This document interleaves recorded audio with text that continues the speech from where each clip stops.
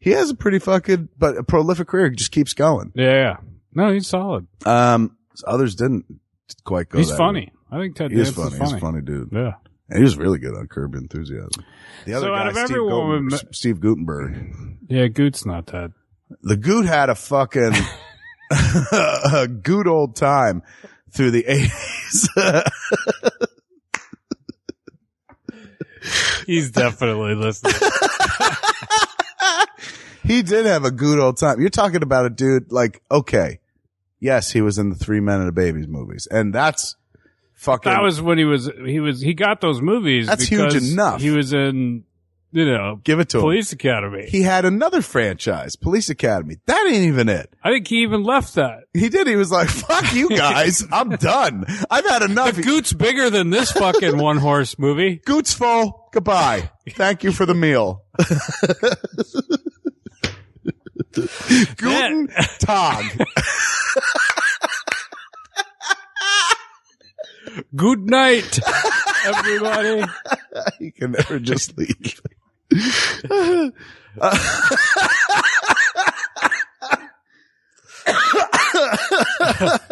Um, and then he- His agent calls him one day.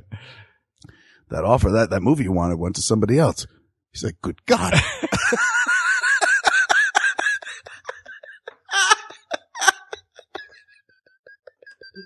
oh my goodness. Steve. I'm just going to have this conversation with you one more time. Maybe the reason the offers have dried up is your insistence on using Goot. Instead of good. Good point. So I can't get on Good Morning America. Oh, help me get back on the good foot. it's all good. It's all good.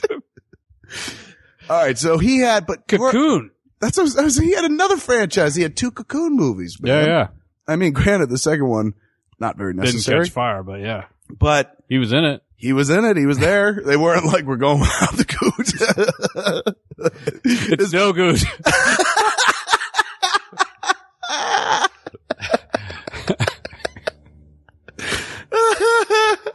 this boat don't go without the goot. Is he Jamaican? he just lapses into it. The boat don't go without the goot man. It's like, is that Steve Guttenberg? is he a character? Um, that's a fucking shit ton. A He- he shit a ton of run. activity. Yeah, yeah. And he did some other movies. I mean, come on. He had lots, dude. Yeah. Like, go look up Steve Guttenberg on the IMDb. That's a dude who had an amazing fucking run. Been a little dry the last few years, but you know, you can't. You think Can guys- you complain after a run that good? Maybe it's by choice too. He might be like, look, fucking, uh, it's not like the offers dried up. The pictures got too small for the goat.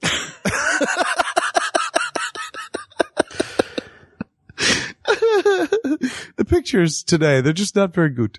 Oh my God! There's a fucking image came up that's of him, um, looking at the camera with his fist in the air, and it literally says, "The goot will destroy you." G U T E. Um, he, He uh, was in fucking Diner. there you go. He was in fucking Short Circuit. Another franchise. Was he in the second one? No, because he wasn't, he didn't come back. It was just, they were like, look, we don't need your help, Goot. He directed two movies too. He's like, give that robot the boot, bring back the goot. no, fuck off. Not in this. Um, The rhyme doesn't work anymore. The goot is kaput.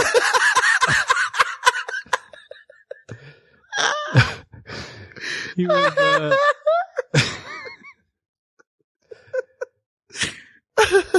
he was in 2005's The Poseidon Adventure. um, really? The remake? No, wait. Was it the cinematic one or was he on the TV version? Oh, I can't tell. I think it was the. I think it was the TV TV version. version. Okay, bad enough if you're like, was in- I was in the cinematic version. When you're like, no, I was on the one that was on TV. I'm trying to get to the point where oh, three men in a li- oh, don't tell her it's me. Cocoon, high spirits, High Spirits with Daryl Hannah and Peter O'Toole. Amazon Women on the Moon. that is more of a like a uh, you know a picture of a bunch of sketches. Bad Medicine. What is Uh, that? It's a it's like a police academy with Doctors. doctors or something. Okay, what else?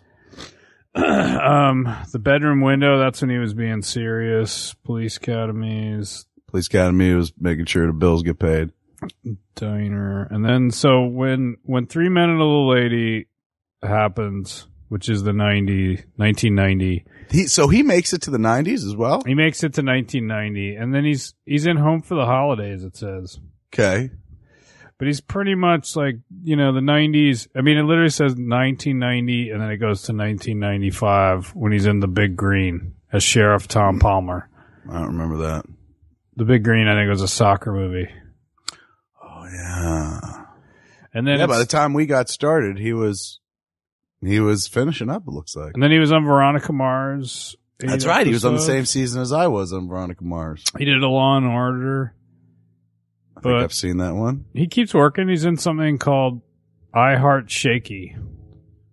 He works consistently. sh- is what you're saying. Wait, I want to know what he directed. He's directed. He was in something called The Chicken Chronicles in the early 70s. Um, that's how it all began. He directed. Take us back, Goot. he directed um, a CBS school break special Okay. um, and in in 1993, and then in 2002 he directed P.S. Your Cat is Dead. Short film or feature? Uh, I believe it's a feature.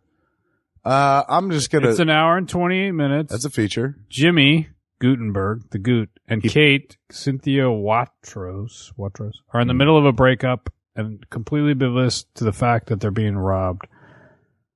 I don't know. He wrote it too. All right. It's based on a play. Well, here's the thing. Um, this dude Goot, he fucking had it Goot for a long, long time, and he continues to work. But it, but for a while, boy, he could fucking He strung a few. He strung a decade together. a real fucking strong decade, man. It's I'm telling you, entertainers, actors, fucking directors, whatever. They're like athletes, dude. You get a career. You know what I'm saying? Some get to go much longer, yes, and there are some who could take it, you know, beyond retirement age and whatnot.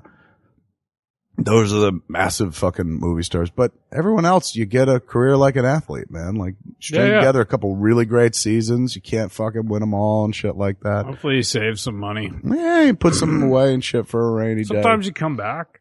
you know? Yes. Some people have longevity. So it's, uh, but I mean, this is a dude that like, if there's a Hall of Fame, like he's in it. He's Like- almost dead. no, he's got to be in it after that run he had.